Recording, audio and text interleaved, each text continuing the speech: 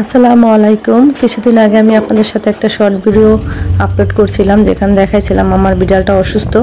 তো আজকে সেই বিষয়টা নিয়ে আপনাদের সাথে ফাইনালি ডিটেলসে সব কিছু শেয়ার করব। তো আমরা রওনা দিলাম ময়মনসিং একদম সদরে যাওয়ার জন্য।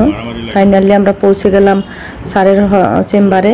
তো স্যারের চেম্বারে যাওয়ার পরে শুনলাম যে স্যার এখনও আসতে অনেক দেরি হবে, এক ঘণ্টা দেরি হবে। তো তার ভিতরে ফাঁকে আরও একটা বিড়াল চলে আসছে, ওরে হচ্ছে স্প্রে করাইছে আর আমাকেটাও পাশে আছে।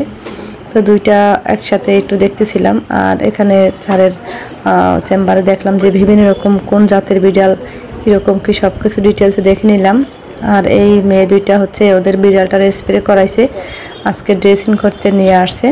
তো রমজান মাস আর হচ্ছে অপেক্ষার পালা শেষ হচ্ছে না মোটে স্যার এক ঘণ্টা পরে আসবে। ফাইনালি স্যার আসলো, আসার পরে ওরে দেখল প্রথমে। ওর হচ্ছে গায়ে জ্বর ছিল, জ্বরটা মেপে নিল, আর ওজনটা মেপে নিল। স্যার হচ্ছে এই যে, স্যারের হচ্ছে, স্যার হচ্ছে ময়মনসিংহ কৃষি বিশ্ববিদ্যালয়ের প্রফেসর। তো আর একটা জিনিস আপনাদের সাথে যেটা শেয়ার করতে চাইছিলাম, সেটা হচ্ছে পরবর্তীতে আমি আবারও বলব।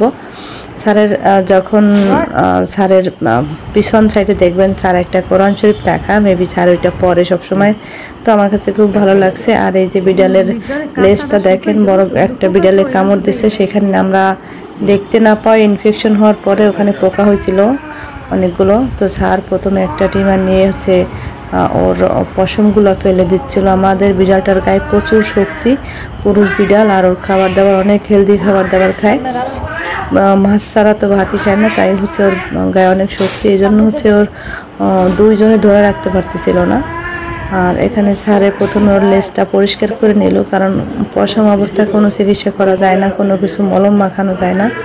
এজন্য বিড়ালের সব কিছুতে আগে পরিষ্কার করে নেওয়া হয়। তো স্যার এখানে আগে একটু ড্রেসিং করে নিচ্ছে, আর যারা বিড়াল পোষেন তাদের জন্য আমি একটা ভালো একটা কথা বলে দিচ্ছি, সেটা হচ্ছে আপনাদের যদি বিড়াল এরকম কখনো ইনফেকশন হয় বা পোকা হয়ে যায়, সেক্ষেত্রে আপনারা তারপিন আছে না তারপিন লিকুইড যেটা, সাদা ওইটা হচ্ছে আপনারা সাথে সাথে বাজার থেকে নিয়ে আসা একটা গস কাপড় মাধ্যমে এখানে দিয়ে দেবেন, তাহলে পোকাগুলো মরে যায় এবং এমনিতেই বের হয়ে যায়।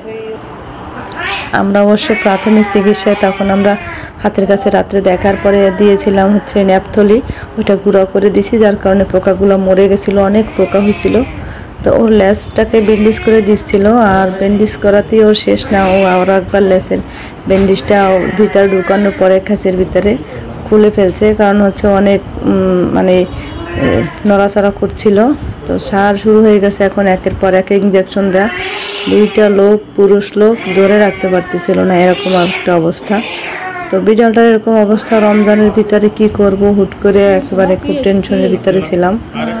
আর রমজান শেষে আমি ভিডিওটা আপনাদের সাথে আপলোড করছি, কারণ শেষ রমজানে আমরা আসলে ওইভাবে সময় করে উঠতে পারিনি। তো আমি একটু বিনোদন দিচ্ছিলাম, যেহেতু ওরে একসাথে চারটে ইঞ্জেকশন পুশ করছে। যার কারণে ও একেবারে ক্লান্ত হয়ে গেছে, একটার পর একটা।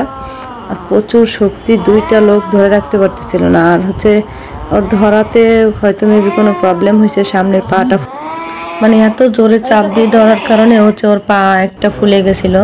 সেটা আবার পরবর্তীতে অ্যান্টিবায়োটিক ওষুধ খাওয়ানো হয়েছে, কিন্তু কোনোভাবে ওষুধে কাজ হচ্ছিল না। পরে আবার পাঁচ দিন অ্যান্টিবায়োটিক ইঞ্জেকশন দেওয়া হয়েছে ডাক্তারের কাছে নিয়ে, তারপরে আবার ড্রেসিং করা হয় প্রতিদিন। তো যাই হোক তো এই ছিল ওর সব কিছু আপনারা সবাই ওর জন্য দোয়া করবেন। ভালো থাকবেন। আল্লাহ হাফেজ।